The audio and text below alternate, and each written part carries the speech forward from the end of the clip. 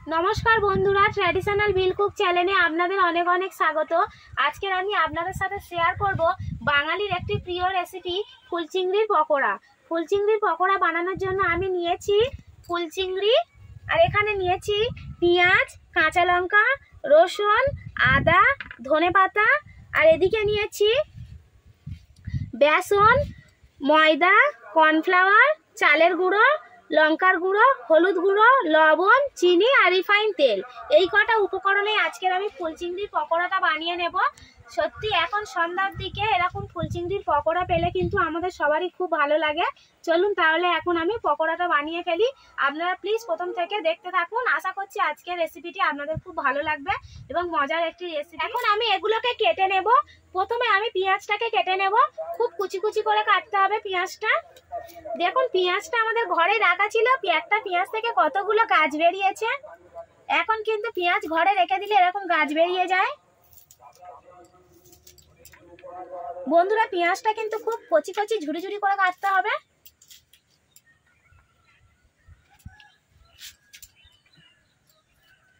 আজকে আদা রসুনটা আমি বাটবো না, বটি দিয়ে কুচি কুচি করে কুচে নেব। আর ধনে পাতা কাঁচা লঙ্কাটাকেও কেটে নেব।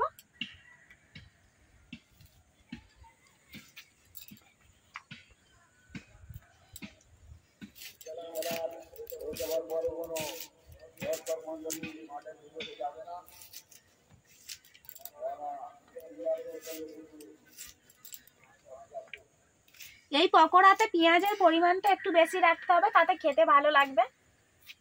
পকোড়া বানানোর জন্য আমি ফুল চিংড়ির সাথে সমস্ত উপকরণগুলোকে একসাথে মাখিয়ে নেব।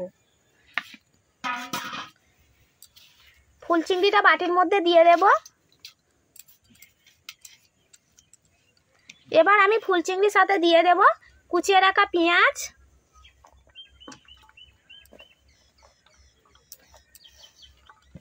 কাঁচা লঙ্কা। আদা, রসুন। আর দেবো ধনে পাতা কুচি।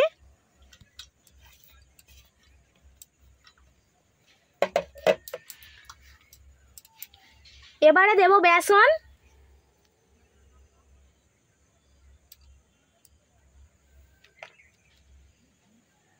আমি এখানে বেসন দিচ্ছি, আপনারা চাইলে বেসন নাও দিতে পারেন।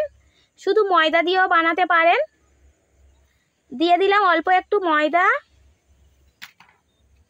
কর্নফ্লাওয়ার আমি এখানে কর্নফ্লাওয়ার ফ্লাওয়ার ব্যবহার করছি, আপনারা চাইলে কিন্তু কর্নফ্লাওয়ার নাও দিতে পারেন। শুধু চালের গুঁড়ো ময়দা দিয়েও বানাতে পারেন, কিংবা বেসন চালের গুঁড়ো দিয়ে বানাতে পারেন। এখন দিচ্ছি চালের গুঁড়ো। তারপরে দেব স্বাদ মতো লঙ্কা গুঁড়ো। যেহেতু আমি আগে কাঁচা লঙ্কা দিয়েছি, সেই বুঝে দেব। দেব পরিমাণ মতো হলুদ গুঁড়ো।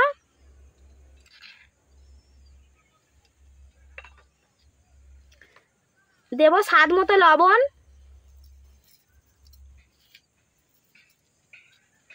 আর দেব অল্প একটু চিনি। চিনিটা পুরো স্বাদটাকে ব্যালেন্স করবে। আর পকোড়া একটু মিষ্টি মিষ্টি ভালো লাগে। এবার আমি সমস্ত উপকরণগুলোকে একসাথে ভালোভাবে মাখিয়ে নেব। হাত দিয়ে এইভাবে মাখাবো।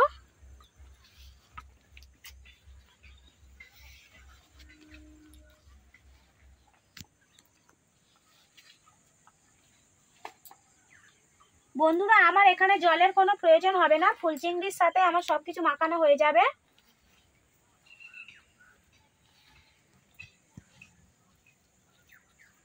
আমি এখানে কর্নফ্লাওয়ার বেসন, ময়দা, চালের গুঁড়ো সব কিছুই ব্যবহার করেছি। আপনারা চাইলে কিন্তু এত কিছু না দিলেও হবে। শুধু ময়দা বা চালের গুঁড়ো কিংবা বেসন, চালের গুঁড়ো দিলেও হবে কর্নফ্লাওয়ার না দিলেও হবে। আমি এখানে অল্প একটু বেসন দেব।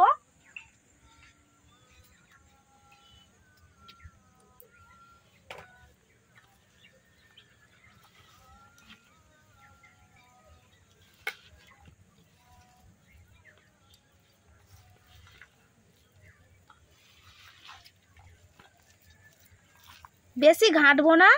এইভাবে আস্তে আস্তে ভালো করে সব উপকরণগুলোকে একসাথে হাত দিয়ে মাখিয়ে নেব।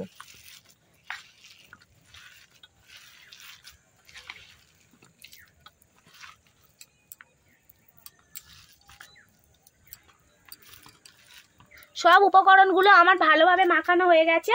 এখন আমি উনুন জ্বালিয়ে নেব। বন্ধুরা, এখন শীতের সময়, এই সময় ফুলচিংড়ির সিজন এখন একটু বেশি ফুলচিংড়ি পাওয়া যায়।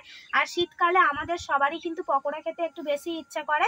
আর সন্ধ্যার সময় তো আর বলার কথা নয়, এরকম ফুলচিংড়ির পকোড়া থাকলে কিন্তু খুবই ভালো হয়।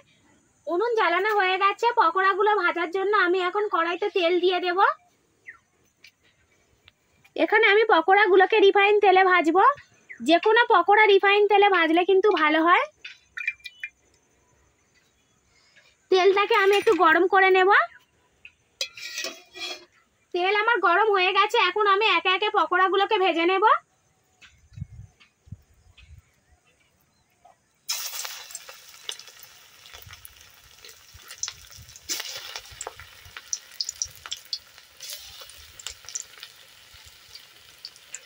পকোড়াগুলোকে তেলের মধ্যে একটু ছাড় ছাড় করে ফেলতে হবে, যেন গায়ে গায়ে লেগে না যায়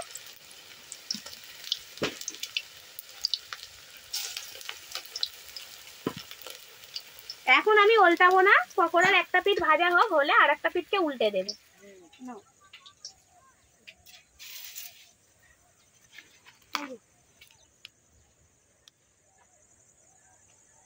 এখন আমি পকোড়াগুলোকে উল্টে দেব। একটা পিঠ ভাজা হয়ে গেছে, দেখুন। কি সুন্দর হয়েছে।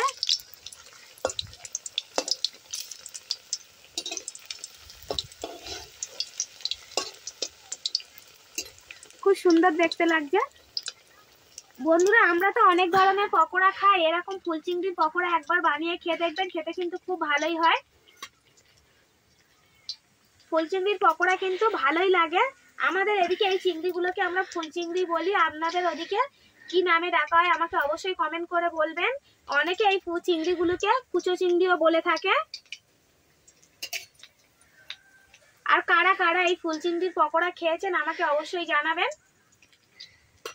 আমার তো ফুল চিংড়ির পকোড়া খেতে খুবই ভালো লাগে। আপনাদের কাদের কাদের ভালো লাগে আমাকে জানাতে ভুলবেন না কিন্তু। পকোড়াগুলো আমার ভাজা হয়ে গেছে, এখন আমি তুলে নেব।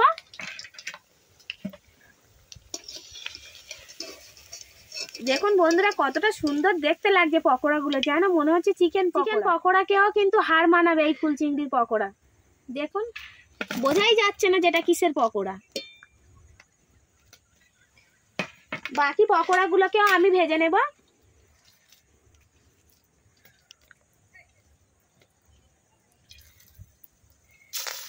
এই পকোড়ার মাপটা আপনারা আপনাদের নিজেদের অনুযায়ী করবেন। বড় চাইলে বড়, ছোট চাইলে ছোট, আপনাদের যেমন মনে হয় তেমন করবেন। আমি এখানে একটু মাঝারি শেপের করছি।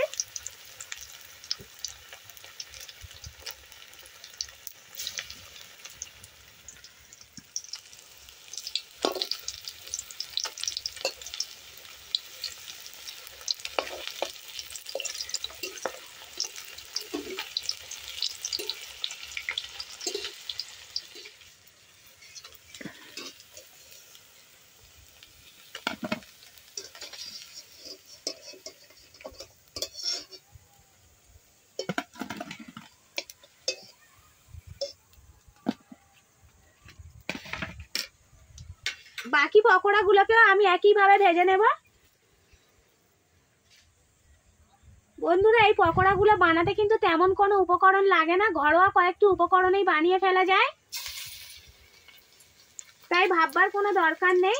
এখন সবসময় ফুল চিংড়ি পাওয়া যায়। ফুল চিংড়ি দিয়ে এইভাবে পকোড়া বানিয়ে খেয়ে দেখবেন।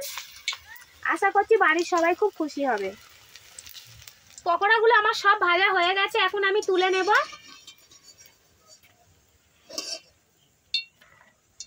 দেখুন বন্ধুরা, সব পকোড়াই আমার ভাজা হয়ে গেছে। পকোড়াগুলো কত সুন্দর দেখতে লাগছে। একদম বোঝাই যাবে না যে এগুলো কিসের পকোড়া, দেখুন।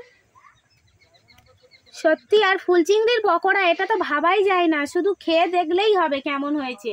খেতে কিন্তু খুব ভালোই হয়। আমি এর আগে অনেকবার খেয়েছি, তাই আমি জানি। আপনারাও অবশ্যই খাবেন, খেয়ে আপনারাও বুঝতে পারবেন এর স্বাদ কতটা ভালো।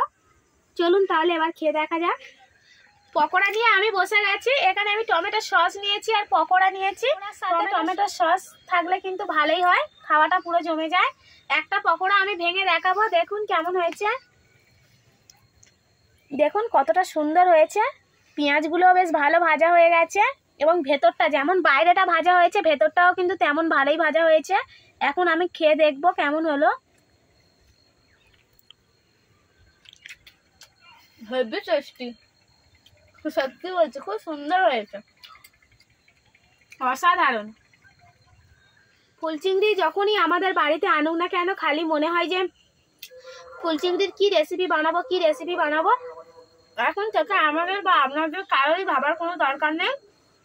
এরকম ফুলচিংড়ির পকোড়া বানিয়ে বাড়ির সবাইকে খাওয়াবেন, দেখবেন বাড়ির সবাই কিন্তু খুব ভালো বাসবে এবং চমকেও যাবে। সত্যি অসাধারণ একটি পকোড়া। এমনি চিকেন পকোড়া বা অনেক রকম পকোড়া তো আমরা খাই। সবসময় তার একটি পকোড়া ভালো লাগে না। এরকম ছোটোখাটো জিনিস দিয়ে বাড়িতে বানালে কিন্তু খেতে ভালো লাগে। বন্ধুরা, আমার এই পকোড়া রেসিপিটি যদি আপনাদের ভালো লেগে থাকে, তাহলে আমার চ্যানেলটিকে অবশ্যই লাইক কমেন্ট শেয়ার এবং সাবস্ক্রাইব করে আমার পাশে থাকবেন এবং আমাকে এবং আমার চ্যানেলটিকে এগিয়ে নিয়ে নিয়ে যেতে সাহায্য করবেন।